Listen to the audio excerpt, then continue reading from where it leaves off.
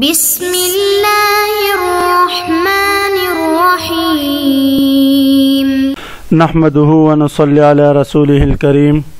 اما بعد بسم اللہ الرحمن الرحیم عزیز طلبہ آج ہم ہدایت النحو سبق نمبر ترانوے شروع کر رہے ہیں۔ اس سبق میں ہم فعل مضارع کا اعراب پڑھیں گے۔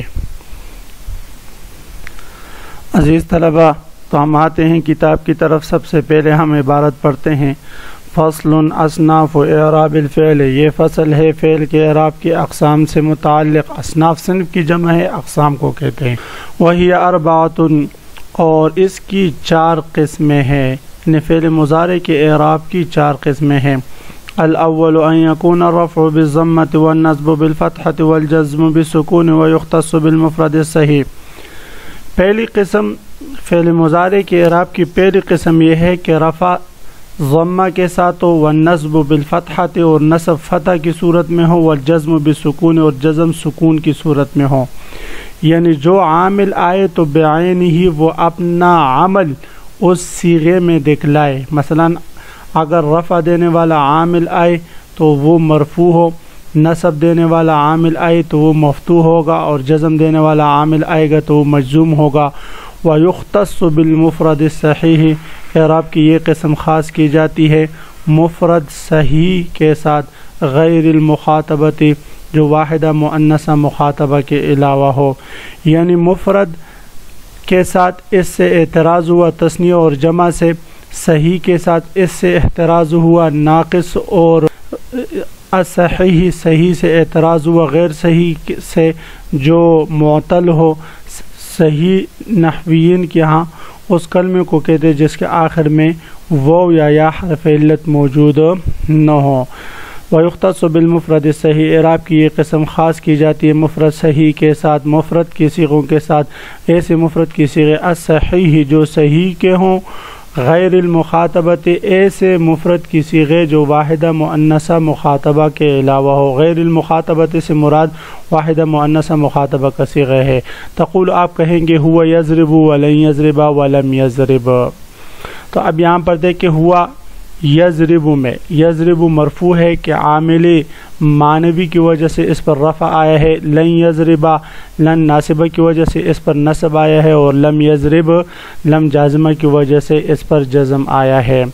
والثاني أن يكون الرفع بثبوت النون والنسب والجزم بحذفها، ويختص بالتسنية وجمع المذكر والمفردة المخاطبة صحيحا كان أو غيره. دوسری قسم فعل مضارع کے اعراب کی یہ ہے کہ رفع نون اعرابی کے اثبات کی صورت میں ہوں والنسب والجزم بحذفها اور نصب اور جزم حذف نون اعرابی کے ساتھ ہوگا یعنی رفع اس بات نون اعرابی کے ساتھ اور نصب اور جزم، حذف نون اعرابی کے ساتھ بے حذف میں حاضم نون کی طرف راجع ہے اور نون سے مراد نون اعرابی ہے۔ اے بے حذف نون نون کے حذف کے ساتھ نصب اور جزم آئے گا۔ و یختص و بتسنیت و جمع المذکر اعراب کی یہ قسم خاص کی گئی ہے تسنیہ کے سیغوں کے ساتھ۔ و جمع المذکر اور جمع مذکر کی سیغوں کے ساتھ۔ والمفردت المخاطبت صحیحا۔ کانا او غیرہ، اور واحدہ معنثہ مخاطبہ کے سیغے کے ساتھ چاہے وہ واحدہ معنثہ مخاطبہ کا سیغہ صحیح سے ہو او غیرہ یا غیر صحیح سے ہو۔ تقول، آپ کہیں گے، ہما فعلان و ہم فعلون ہما فعلان حالات رفی کی مثال ہم فعلون حالات رفی کی مثال، و انت تفعلین حالت رفی کی مثال. ولن یفعلا ولن یفعلو ولن تفعلی حالت نسبی کی مثال ہے کہ یفعلون سے نون رابی گرا، لن یفعلو سے نون رابی گرا، لن تفعلی سے بھی نون رابی گرا. ولم تفعلا ولم تفعلا ولم تفعلی. اور لم جازمہ کی مثال ہے کہ لم جازمہ کی وجہ سے ان تینوں سگے سے نون اعرابی گر چکا۔ والثالث اعراب، فعل مظاہرے کے اعراب کی تیسری قسم یقون رف و بتقدیر ضمت و نصب بالفتحت لفظا والجزم بحذف اللام۔ وہ یہ ہے کہ رفع ضمہ تقدیری کے ساتھ ہو و نصب بالفتحت لفظاً اور نصب جو ہے وہ فتح لفظی کے ساتھ ہو والجزم بحذف اللام اور جزم جو ہے وہ حذف لام کلمے کے ساتھ ہوگا۔ رفع ضمہ تقدیری کے ساتھ، نصب فتح لفظی کے ساتھ اور جزم حذف لام کلمے کے ساتھ ہوگا۔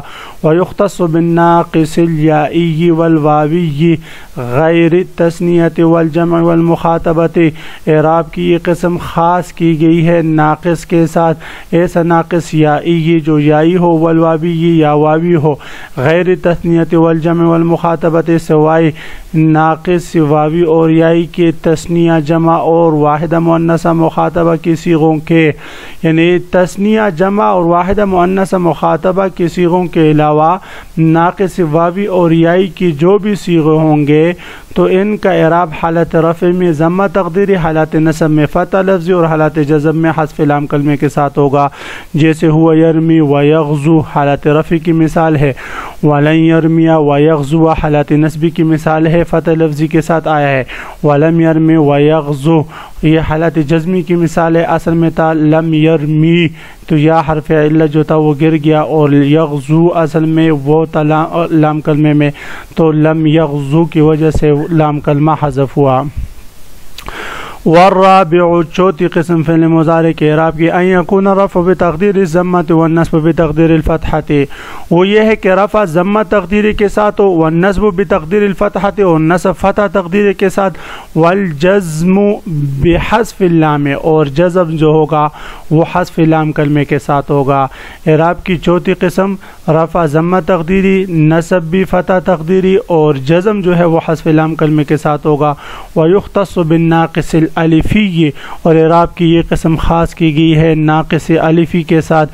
ایسا ناقص الفی غیر تثنیت و جمع و مخاطبت جو جس کے تثنیہ جمع اور واحدہ مؤنثہ مخاطبہ کی سیغوں کے علاوہ دیگر سیغے ہوں۔ تو ایسے ناقص الفی کا اعراب حالات رفع میں ضمہ تقدیری نصب میں فتح تقدیر اور جزم میں حذف لام کلمے کے ساتھ ہوگا۔